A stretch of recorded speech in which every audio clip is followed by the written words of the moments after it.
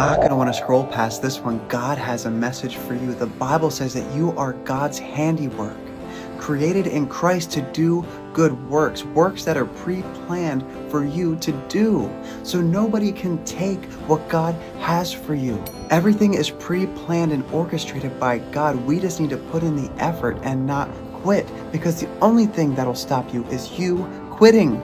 But God won't even let you stop because He will give you the grace and He will give you the faith to continue on in His name. The Bible says the Word of God is alive and active. It judges the heart and the mind. And nothing in all creation is hidden from God's sight.